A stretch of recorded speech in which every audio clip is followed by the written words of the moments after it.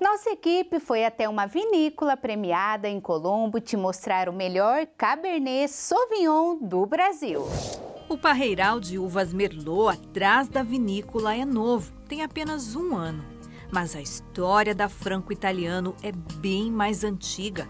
Começa no fim do século XVIII, quando os bisavós de Fernando iniciaram a produção de vinhos na região.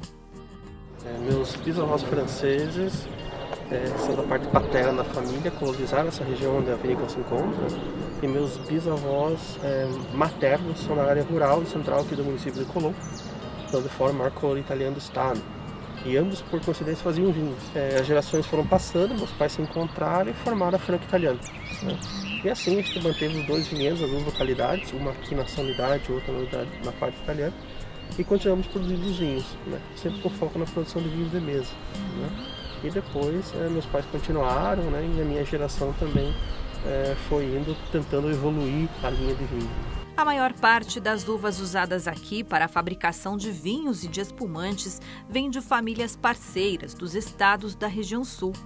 Nos últimos anos, a viticultura paranaense passou a produzir uvas cada vez melhores para a produção de vinhos finos, o foco da vinícola hoje. É, a incidência bastante, a gente está muito próximo aqui da Argentina e Chile, que são um dos grandes produtores mundiais de vinho, né?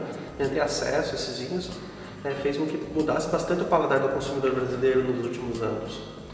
É, e, e, deu um alerta para as vinícolas brasileiras que elas precisavam ter qualidade em seus vinhos.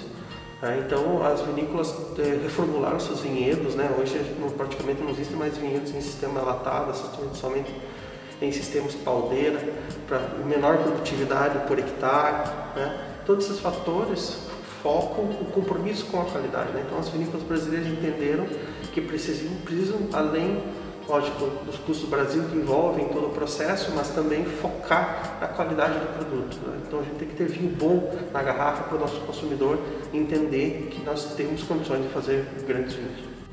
Toda essa experiência já rendeu à vinícola vários prêmios. Neste ano, um dos vinhos da Franco Italiano conquistou pela segunda vez consecutiva o prêmio de melhor Cabernet Sauvignon do Brasil. A grande prova Vinhos do Brasil reuniu quase 150 vinícolas de nove estados brasileiros. O título, dividido com outra vinícola paranaense, foi para o Censurato, um Cabernet Sauvignon envelhecido por 12 meses em barril de carvalho. O reconhecimento atrai ainda mais visitantes para o local em Colombo, na região metropolitana de Curitiba. O turista pode conhecer todos os espaços da vinícola e saber mais sobre a vitivinicultura. Então, a vinícola Fritana é aberta diariamente, né? para receber os turistas aqui, para conhecer nossas instalações e degustar alguns vinhos conosco. Né? Nós temos hoje à disposição as visitas guiadas, né? que é só solicitar aqui na vinícola, e também algumas degustações e um jardim que a gente abriu para que as pessoas possam degustar alguns vinhos. E também dentro da região metropolitana aqui nós temos o roteiro dos vinhos finos aqui, né? de, das vinícolas, onde o turista pode vir ao Paraná. Né? Então é uma coisa muito bacana, uma nova realidade aí da viticultura paranaense.